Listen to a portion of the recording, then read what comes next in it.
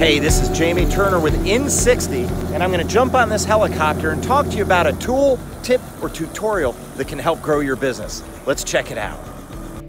I'm in Ecuador to do a speech for my friends at La Fabril. La Fabril is the Procter & Gamble of this part of the world. I get a lot of questions from people who want to know how I got started as an international speaker, so I thought I'd share my journey in case you want to replicate what I've done. But first, I'd like to thank our friends at Agorapulse for sponsoring this episode of In60. If you're looking for a way to manage your social media campaigns more effectively, be sure to check out Agorapulse. I use their social media dashboard every day to make sure my social media campaigns are reaching the right people at the right time with the right message. So, let's talk about how you can become an international speaker. The starting point is to speak at a local level. And the insider secret I used 15 years ago was to email a professor at a local university and ask them if they needed a guest speaker. You'll be surprised at how many university professors love to have guest speakers in their classes. It gives them an opportunity to provide some variety to the students, so most of them will welcome you with open arms. Once you've done your first speaking gig at a university, your next step is to do a local business networking breakfast or lunch. Just call up the local business organizations and let them know that you recently spoke at XYZ University. Since you've already spoken at a well respected university, they'll be more likely to welcome you to speak at their organization. Once you've spoken at a local business or networking event, your goal is to speak at a larger event, either regionally or nationally. The secret is to work your way up the chain until you're speaking at large national events. Okay, we've covered a lot of ground, but let's talk about three things you need to be able to speak at national events. The first is a reputation, which can come from articles you've written, the company you work for, or radio interviews you've been part of. The second is a speech that makes you stand out. The trick here is to have a speech that says the opposite of a commonly held belief.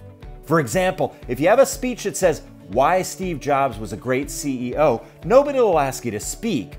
But if you have a speech titled Why Steve Jobs Was a Terrible CEO and What You Can Learn from His Mistakes, then people will be interested in hearing more.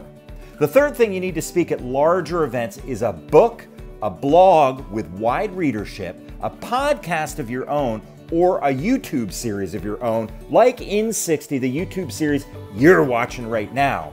If you have one of those four items, a book, a blog, a podcast, or a YouTube series, then you're in great shape. Okay, now the big question How do you get international speaking gigs like the one I'm doing here in Ecuador, where we're riding this helicopter right now to take me down to the speech? Well, here's how I did it, and then here are a few ideas how you can do it too. For me, I actually reached out to a business acquaintance in London and said, let's do an event together in London. He agreed and we did the event. Once that happened, I contacted other events in Europe, the Middle East, and Latin America and told them that I was just speaking in London. May I send you a link to my speaker website? Which brings me to a super important point. You can get regional or national speeches without a dedicated speaker website, but you definitely cannot get an international speech without a dedicated speaker website. International speaking gigs require a well designed and well thought out website like mine at Jamie Turner Live. Either way, once you have a website designed and uploaded, reach out to the events overseas and send them a link to your website. It'll take a long, long time, but if you stay with it, it'll work. Okay, let's do a quick recap of how to become an international speaker. Step one, speak at a university. Step two, speak at a local networking event. Step three, speak at a regional and then national event. Step four, have a book, a blog, a podcast, or a YouTube series to differentiate yourself. Step five, create a dedicated speaker website. And then step six, start contacting large events held overseas to share your information with them. This will take a long, long time, so don't expect results overnight. I was speaking at regional and national events for 10 years before I got my first international speaking gig. But now, 80% of my speaking gigs are overseas, so my wife and I get to travel to exotic locations for all of my events. One final bonus tip whenever you speak, the person who's going to hire you at your next gig will be sitting in the audience. That's a key thing. Your next speaking client is sitting in the audience of your current speech. If you knock it out of the park, somebody in that audience is going to come up to you afterwards and say, I got to connect you with my organization so you can come and speak at my event. My name is Jamie Turner. Let's jump off this helicopter and get this thing all wrapped up. Hey, this is Jamie Turner. I just jumped off that helicopter where I talked to you about a few things that can help your career or grow your business. I hope that was helpful to you, and I'll catch you next time. All right, if you're still with me, I got two things to say. First of all, we're trying to do this where it's in 60 seconds, like I promised. Not really working out that well, but hey, we're uh, learning as we go. Second thing is, if you are still with me, if you're one of the first five people to make a comment down below, I will send you hey, where'd it go? I gotta go get the book. It's on the shelf. Hang on. Let's go over here, get the book off the shelf. Well, I don't have any copies. There we go. All right, let's try this again.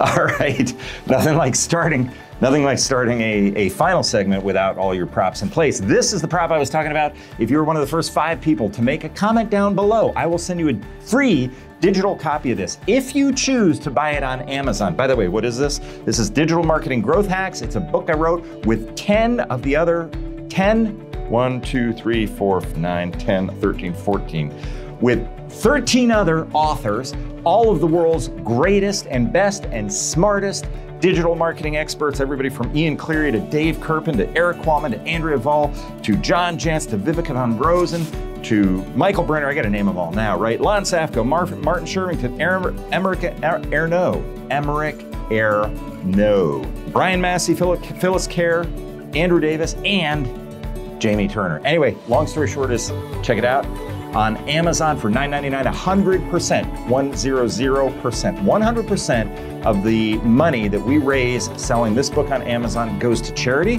So be sure to click through on the affiliate link down below and you'll be able to buy it. Or if you're one of the first five people to make a comment, you will get a free digital copy of this book. My name is Jamie Turner. This has been In 60. I know it didn't last 60 seconds, but hey, whatever. I'll catch you next time.